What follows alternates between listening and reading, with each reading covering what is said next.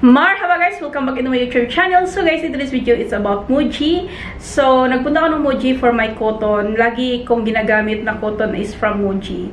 So, nagtingin-tingin ako. Then, meron silang 50% off.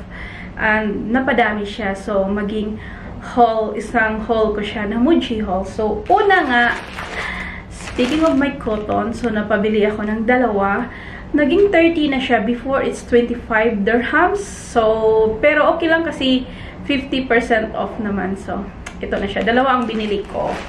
Next na binili ko is itong ano guys. Ang, ito siya. Is a 5 dirhams ito. 50% off. So, kayo na mag-math. Foaming net for face. Pero gamitin ko siya for body, not for face. So, bumili ako ng dalawa. So, itong dalawa, 20, uh, 5 dirhams. Ayan. Next is bumili ako ng very skinny na ano, 9 dirhams ito, very skinny na brush para sa mga gilid-gilid, katulad ng window guys. Yung sa Daiso namin, meron namang free. Pero mas malalaki pa rin kasi kailangan ko din pa rin ng skinny. Minsan, toothbrush nga natin na normal na toothbrush, malaki pa din siya sa mga gilid-gilid. So, nakita ko to. Binili ko. So, 9 dirhams, 50% off. So, okay na ako. So, ayan. Isa lang binili ko. Napabili din ako, guys, nito. Itong ganitong bag.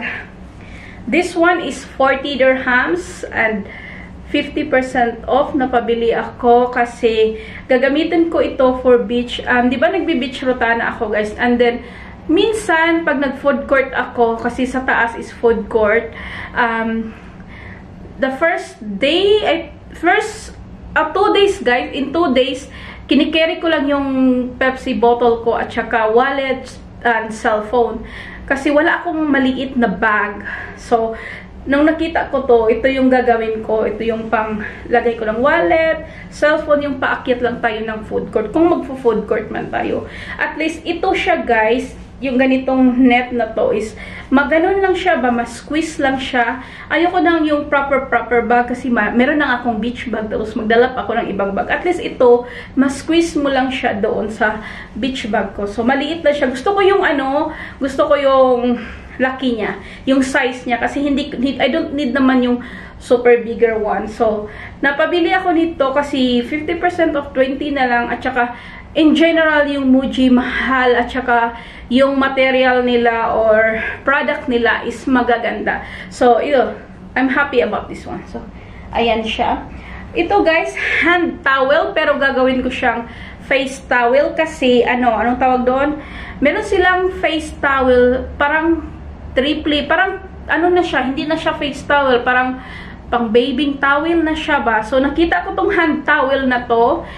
Mura lang naman, 25 dirhams each, pero half price nga, um, 12.50 na lang. So, binili ko dalawa kasi same lang din naman siya ng materials doon sa hand oh, sa face towel nila, yung hand towel. Kasi hand towel ito. Pero yung material, the same nga lang. Sabi ko, ito na lang. Tapos, wala na kasi silang puti. So, gray na lang. So, ito siya. So, kung bibili man mo is 25 dirhams each. Pero half price, 12.50. So, ito siya. So, my face towel na ako. Maganda din talaga in general yung material nila.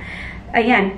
Next one is itong nail clipper na to. Bumi tag 40 dirhams yung nail clipper nila. Pero half price, 20 dirhams na lang. So, bumili ako. 40 dirhams pa rin. So, nakadalawa na ako, ba diba? So, one for bossing, one for me kasi nasira yung small ganitong size namin na um, nail clipper. Meron kaming malaki. Hindi namin fun. Tapos, nakalimutan na nakalimutan na kailangan bumili lang maliit. So, finally, I remember at nira na kami. 140. Ah. Next one is itong dalawang ano, mesh pouchy tingi. So, yung available color nila doon is black and gray lang. So, gray and gray lang muna guys ha, gray. Ito siya, ang nakagandahan dito, gagawin ko siyang for my bag, something eh. Ang nagustuhan ko dito guys is, meron nga siyang parang small area dito. So, ayan siya dyan, ang nilagay ko is yung gamot. Yung mga gamot ba, kasi I always bring gamot sa bag ko para kung magsakit ang likod, chan, and everything, masamang pakaramdam, meron kang gamot. So, ready ako. So, ayan. ba diba, I think I have 5 years, 4 years on this one. Parang ini-squish ko siya lahat. So, nung nakita ko, ang saya ko kasi mas separate ko yung gamot sa ibang may mga strepsils ako dito, Band-Aid, toothpick, um, lipstick, ballpen, rosary, and uh, mirror, and yung sa buhok, pantali. So, sabi ko, ito na lang mas nagustuhan ko siya kasi nakaseparate na nga yung tablet natin. So, ayun, ito na yung maging ano sa bag ko. So, yes, medyo malaki, pero hindi ko siya ini-squeeze lahat ng gusto kong ilagay dito. So, dito at least, parang malaki na siya na area. So, anyway, I'm happy sa mga nabili ko. Ang sarap mamili ng naka-sale.